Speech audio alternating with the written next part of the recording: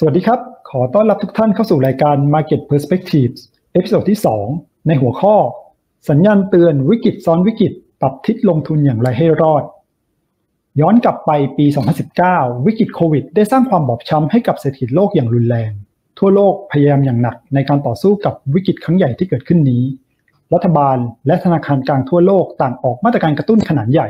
เพื่อฟื้นคืนชีพเศรษฐกิจ แล้วก็ได้ผลครับ หลังจากนั้นเนี่ยเศรษฐกิจก็เริ่มฟื้นตัวอย่างต่อเนื่อง แต่ทว่าผลข้างเคียงจากการใช้มาตรการกระตุ้นเหล่านั้นที่อาจจะเกินพอดีเนี่ยดูเหมือนว่ากำลังจะกลายเป็นต้นต่อของวิกฤตครั้งใหม่ที่กำลังรอเราอยู่ ปัจจุบันเราก็สามารถสัมผัสได้ถึงสัญญาณเตือนที่ดังขึ้นอย่างต่อเนื่อง ว่าเราอาจจะกำลังจะเจอกับวิกฤตเศรษฐกิจอีกครั้ง มีความเสี่ยงที่เศรษฐกิจโลกจะถดถอย แม้ว่าเพิ่งจะฟื้นตัวจากวิกฤตโควิดก็ตาม ซึ่งหนึ่งในสาเหตุสำคัญคือ ภาวะสงครามรัสเซียยูเครน ที่กดดันราคาน้ำมันให้ปรับขึ้นอย่างรุนแรง และกระทบต้นทุนพลังงานในการผลิต และการขนส่งสินค้าต่างๆ ส่งผลให้เงินเฟ้อเนี่ยปรับสูงขึ้นอย่างต่อเนื่อง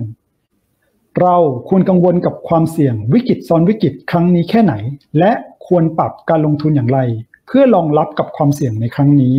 วันนี้ Market Perspective จะมาเจาะประเด็นนี้ให้ฟังครับก่อนอื่นเลย เราต้องทำความเข้าใจกับความหมายของคำว่าวิกฤตเศรษฐกิจก่อนว่าหมายถึงอะไร Economic Crisis หรือวิกฤตเศรษฐกิจหมายถึง การที่เครื่องชี้วัดเศรษฐกิจเช่น GDP ปรับลดลงรุนแรง และส่งผลกระทบลุกลามเป็นวงกว้าง ขอขีดเส้นใต้คำว่ารุนแรง และลุกลามเป็นวงกว้างนะครับ ส่งผลให้กิจกรรมทางเศรษฐกิจเนี่ยลดลงอย่างรุนแรง และอาจถึงขั้นหยุดชะงักเลย อัตราการว่างงานพุ่งขึ้นอย่างรวดเร็ว โดยตัวอย่างที่ชัดเจนของวิกฤตเศรษฐกิจที่หลายท่านเองเนี่ยน่าจะเห็นภาพที่อย่างแน่นอนก็คือวิกฤตโควิด -19 ที่ผ่านมานี่เองครับ ส่วนใหญ่เนี่ยเราก็กักตัวอยู่ที่บ้าน ฉะนั้นเนี่ยกิจกรรมทางเศรษฐกิจก็ลดลงอย่างรุนแรง และแน่นอนส่งผลกระทบลุกลามเป็นวงกว้างไปทั่วโลก กดดันให้ GDP ของประเทศต่างๆ ทั่วโลกเนี่ยปรับลดอีกหนึ่งคำที่ต้องบอกว่าได้ยินกันบ่อยๆ ในช่วงนี้ก็คือ recession ซึ่งหมายถึงเศรษฐกิจถดถอย ในเชิงเศรษฐศาสตร์เนี่ยหมายถึงการเติบโตของ GDP ที่ติดลบ ต่อเนื่อง 2 ไตรมาสขึ้นไป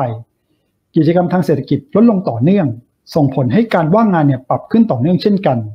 ยกตัวอย่างเช่น เศรษฐกิจไทยในปี 2013 ถึง 2014 ความไม่สงบทางการเมือง ซึ่งเกิดขึ้นตั้งแต่ครึ่งหลังของปี 2013 มาจนถึงกลางปี 2014 มีการชุมนุมและประท้วงต่อต้านรัฐบาล จนนำไปสู่การปิดกรุงเทพหรือที่เรียกว่า Bangkok Shutdown เหตุการณ์ดังกล่าวทำให้การท่องเที่ยว การลงทุน การค้าของประเทศไทยได้รับผลกระทบอย่างหนักในช่วงนั้น เพราะสถานที่สำคัญหลายแห่งในกรุงเทพถูกใช้เป็นที่ชุมนุม ส่งผลต่อ GDP ของประเทศไทยลดลง 2 ไตรมาสติดต่อกัน ตั้งแต่ไตรมาสที่ 4 ปี 2013 จนถึงไตรมาสที่ 1 ปี 2014 เราน่าจะพอเห็นภาพของความเหมือนและความแตกต่างของสองคำนี้บ้างแล้วนะครับ ก็ต้องมาดูว่าปัจจุบันเองเนี่ยเศรษฐกิจโลกเริ่มออกอาการอะไรบ้าง และอาการดังกล่าวเนี่ยมีความเสี่ยงมากน้อยแค่ไหน เป็นที่ชัดเจนครับว่าเหตุการณ์สำคัญที่กำลังเกิดขึ้น และถือเป็นตัวเร่งที่สำคัญทำให้เกิดความเสี่ยงในการเกิด recession ก็คือ สถานการณ์สงครามรัสเซียยูเครนที่กดดันราคาน้ำมันให้ปรับขึ้นอย่างรุนแรง ซ้ำเติมปัญหาเดิมที่โควิด -19 เนี่ยสร้างไว้ ซึ่งก็คือการชะงักงานของห่วงโซ่อุปทานทำให้เกิดการขาดแคลนสินค้า และกระทบสินค้าต่างๆ รวมถึงราคาอาหารเนี่ยให้ปรับเพิ่มขึ้น จนเริ่มมีเสียงเตือนถึงวิกฤตอาหารโลกที่รุนแรง และแน่นอนว่าปัญหาใหญ่ที่เกิดขึ้น และกำลังเป็นที่พูดถึงในวงกว้างก็คือภาวะเงินเฟ้อในทั่วทุกมุมโลก โดยหากไปดูตัวเลขเงินเฟ้อในเดือนพฤษภาคมปีนี้ เมื่อเทียบกับปีที่แล้วเนี่ยพบว่าเพิ่มขึ้นอย่างน่าตกใจ ทั้งเงินเฟ้อสหรัฐพุ่งขึ้นมาอยู่ที่ระดับ 8.6%สูงสุดในรอบ 40 ปี เงินเฟ้อยุโรปขึ้นมาที่ 8.1% ของไทยเองเนี่ยก็สูงถึง 7.1%และยังมีแนวโน้มที่จะปรับตัวขึ้นต่อเนื่องอีกด้วย เงินเฟ้อที่พุ่งขึ้นอย่างรวดเร็วนี้เนี่ยเริ่มกระทบกับกำลังซื้อของผู้บริโภคแล้ว หลายท่านเองก็เริ่มรู้สึกได้ว่าข้าวของตอนนี้มันเริ่มแพงขึ้นจนเป็นที่น่ากังวลละนะครับ อย่างหลายประเทศเองเนี่ยก็เริ่มมีพฤติกรรมการรัดเข็มขัด หรือว่าการลดการบริโภคลงมา ซึ่งจะสะท้อนไปยังตัวเลขเศรษฐกิจในระยะถัดไปให้ชะลอลงอย่างหลีกเลี่ยงได้ยาก อีกหนึ่งคำถามสำคัญก็คือ แล้วเราจะจัดการกับปัญหาเงินเฟ้อนี้อย่างไรดี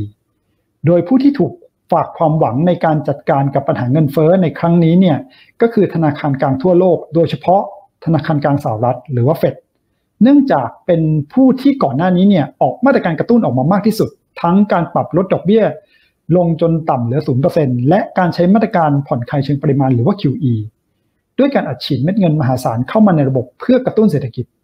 ซึ่งสร้างผลกระทบข้างเคียงก็คือ เงินเฟ้อที่มาแรงและเร็วกว่าคาด โชคร้ายครับ สิ่งที่ซ้ำเติมปัญหาในครั้งนี้เนี่ยก็คือสงครามรัสเซียยูเครน ที่ทำให้โจทย์เงินเฟ้อในครั้งนี้เนี่ยรับมือได้ยากและมีเดิมพันที่สูงมาก หากแก้โจทย์นี้ได้ไม่สมบูรณ์พอเนี่ยต้องบอกว่านั่นอาจหมายถึงเศรษฐกิจของสหรัฐเอง และรวมถึงเศรษฐกิจโลกเนี่ยต้องเสี่ยงเข้าสู่ภาวะ recession อีกครั้ง แน่นอนว่าสิ่งที่เป็นอาวุธสำหรับการต่อสู้เงินเฟ้อในครั้งนี้ก็คือนโยบายการเงินแบบเข้มงวด ซึ่งได้แก่การปรับขึ้นดอกเบี้ย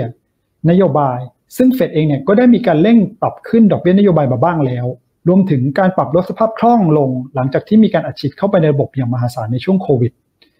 ประเด็นสำคัญก็คือ จะปรับขึ้นดอกเบี้ยอย่างไร ให้เหมาะสมเพื่อจัดการเงินเฟ้อโดยที่ไม่เกิดภาวะ recession ซึ่งต้องบอกว่าไม่ง่ายเลยครับ เพราะสถิติชี้ว่าเมื่อเฟดทำการขึ้นดอกเบี้ย และจัดการเงินเฟ้อให้ลดลงมาอยู่ในระดับปกติ โดยไม่เกิด recession เนี่ยหรือที่เรียกว่า soft landing เนี่ยนะครับ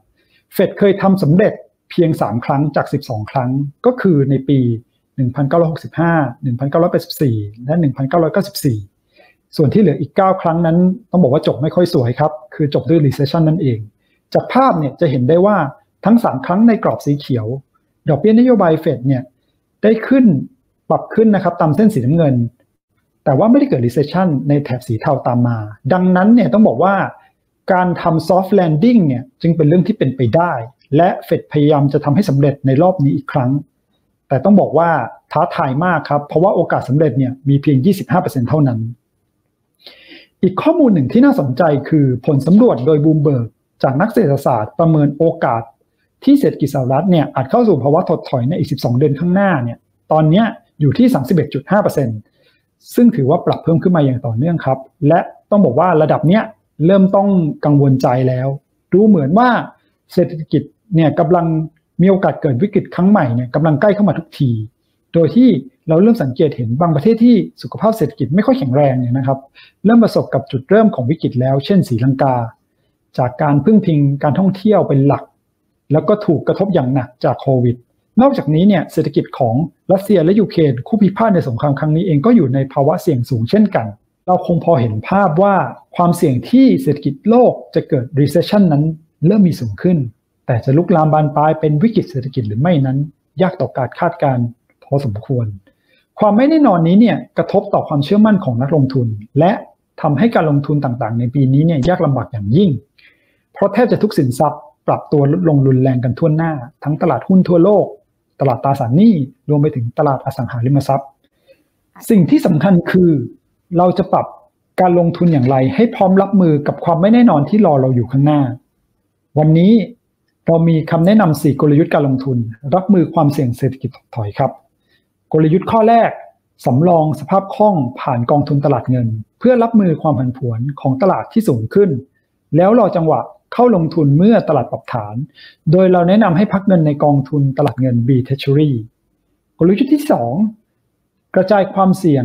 การลงทุนในหลากหลายสินทรัพย์ ผ่านกองทุนผสม ที่สามารถทนทานความผันผวนได้ดี เหมาะกับช่วงเวลาการลงทุนที่ยากลำบากในปัจจุบัน การกระจายความเสี่ยงนี้จะช่วยให้ความเสี่ยงโดยรวมลดลงได้ และเพื่อสร้างโอกาสในการรับผลตอบแทนอย่างสม่ำเสมอในระยะยาวผ่านกองทุน BCAP GMA และ BCAP GMA Plus กองทุน BCAP GMA เนี่ยเป็นกองทุนที่เน้นลงทุนในสินทรัพย์หลากหลายในต่างประเทศทั่วโลกที่มีความมั่นคง และมีความเสี่ยงต่ำโดยลงทุนในสัดส่วนประมาณ 80%เช่น เงินฝาก พันธบัตร หุ้นกู้ และอีก20%เนี่ยจะลงทุนในสินทรัพย์เสี่ยง ส่วนกองทุน BCAP JMA Plus จะมีความเสี่ยงที่สูงกว่า โดยมีนโยบายเน้นลงทุนในสินทรัพย์เสี่ยง ต่างประเทศทั่วโลกในสัดส่วนประมาณ 75%เช่น หุ้น REIT และทองคำ และมีสัดส่วนการลงทุนในสินทรัพย์มั่นคงประมาณ 25%โดยทั้ง 2 กองทุนเกิดจากความร่วมมือระหว่างบลจ BCAP ร่วมมือกับ Pictet เพื่อออกแบบพอร์ตการลงทุนมาตรฐานระดับโลก โดย Pictet จะมีคณะกรรมการการลงทุน และมีทีมงานที่มีประสบการณ์สูง ที่จะให้คำแนะนำในทิศทางการลงทุน โดยผู้จัดการกองทุนเนี่ยจะจัดสรรสัดส่วนการลงทุนให้สอดคล้องกับสภาวะตลาดภายใต้กรอบความเสี่ยงของแต่ละกองทุนอย่างเหมาะสม 3. ปกป้องความเสี่ยงจากเงินเฟอ้อผ่านสินทรัพย์ที่สามารถป้องกันเงินเฟอ้อได้ เช่น REIT ผ่านกองทุน BIR FOF และลงทุนทองคำผ่านกองทุน BGO เพื่อกระจายความเสี่ยง อีกทั้งทองคำเนี่ยยังสามารถให้ผลตอบแทนที่ดีเมื่อเศรษฐกิจเข้าสู่ภาวะถดถอยอีกด้วย สุดท้ายเรามองความผันผวนของตลาดหุ้นเป็นโอกาสสะสมหุ้น value ที่มีราคาไม่แพง เพื่อจำกัด downside risk โดยหากดูจาก valuation ผ่าน PE ratio แล้วพบว่าตลาดหุ้นที่ยังมีราคาไม่แพง และมีความน่าสนใจ